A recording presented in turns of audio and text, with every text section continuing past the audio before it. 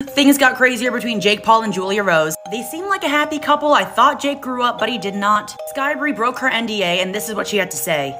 Jake, the first night that I hung out with him, he flew me to Puerto Rico. The very first night, the first conversation we had was, This is for clout. He was like, At the end of this, I want you to post it. Did it feel like this sort of like weird rebound revenge thing or no? Um, or was it sincere? yes, I definitely, I knew that's what it was, but also he made it a point he wanted it to be very mutually beneficial. Like, you're gonna run with this, you can post about it, get the clout from it, whatever, and I'm gonna probably make Julia mad and like get like the revenge that I need. So it was very mutual.